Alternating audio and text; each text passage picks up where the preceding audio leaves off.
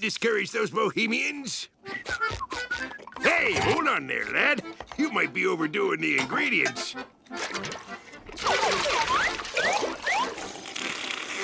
Huh, It's just broth. Huh, that's funny. It was loaded with stuff a few minutes ago. Hmm.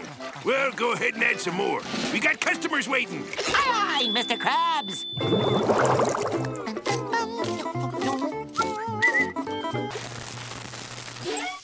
Should discourage those bohemians.